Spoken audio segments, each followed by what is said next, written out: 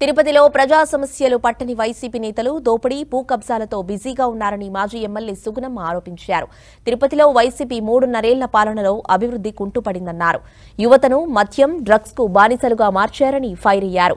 TDP అధినేత చంద్రబాబు పిలుపుతో రాష్ట్రానికి ఇదేం కర్మ కార్యక్రమంలో భాగంగా వైసీపీ అసమర్థ అవినీతి చేతకాని పాలనపై తిరుపతిలో యాభై రోజుల పాటు నిరసనలు చేపడతామని మాజీ ఎమ్మెల్యే సుగుణమ్మ తెలిపారు.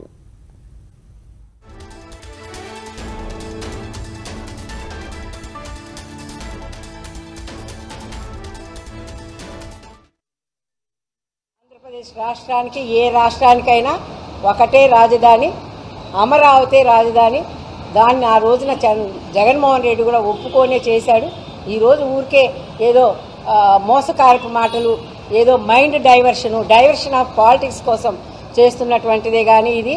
ఆయన మూడు రాజధానులు కాదు కదా మూడు ఇళ్ళు కూడా ఇంతవరకు నిర్మించి శంకుస్థాపనలు చేయలేదు.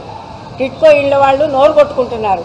జాగాలు ఇచ్చారు. మేము ఆ రోజున ఇళ్ళు కట్టించిస్తే తిరుపతి నగరంలో పదివేల ఇళ్ళు కట్టించి గృహప్రవేశాలు చేశాం. ఈ రోజున సంతోషంగా ఉన్నారు వాళ్ళంతా. ఈ రోజు వీళ్ళు అక్కడెక్కడో ఏర్పేడు ఇక్కడెక్కడో కొత్తపేట ఇక్కడెక్కడో మల్లవరం ఆడ ఒక సెంటు జాగా భూమి ఇచ్చి మరి ఇవ్వ- ఇంతవరకు అతి లేదు గతి లేదు వాటికంతా కూడా. మరి ఈయన పోయి మూడు రాజధానులు నిర్మిస్తాడంట. ఆయనకు మూడు ఒక్కొక్క రాష్ట్రంలోనూ ఒక్కొక్క జిల్లాలోనూ ఒక ఇల్లు నిర్మించుకోవచ్చు కానీ ప్రజల కోసము ఇల్లు నిర్మించి ఇచ్చే దాఖలా అయితే అతనికి చేత కాదనే చెప్పొచ్చు. ఆ విధంగా మరి నిలకడ లేని పాలన. మరి నిలకడ లేని పాలన అంటే చూస్తున్నాం కదండి? ఆయన చేత కాకపోతే మూడు రాజధానులు అంటాడు. లేకపోతే మద్యపాన నిషేధం అంటాడు. లేకపోతే నిత్యావసర వస్తువులు తగ్గించామంటాడు. లేదంటే అమ్మ ఒడి అంటాడు. లేదంటే మద్యపాన నిషేధం అంటాడు. లేదంటే ఒక పదిహేను వేల రూపాయల పిల్లలకి అమ్మ ఒడి అంటాడు. ఇవంతా కూడా నలభై సంవత్సరాలు నిండిన మహిళలకి డెబ్బై ఐదు వేలు ఇస్తాను సం- సంవత్సరానికి పదిహేను వేలు ఇస్తా అన్నాడు. అది లేదు. కాబట్టి ఇలాంటి మనిషికి ఒక మాట రోజుకు ఒక మాట చెప్తున్నటువంటి ఈ వైకాపా ప్రభుత్వం కానీ నాయకులు కానీ మేము నిలదీస్తున్నాం. ఒక రాజధాని విషయమే తీసుకోండి.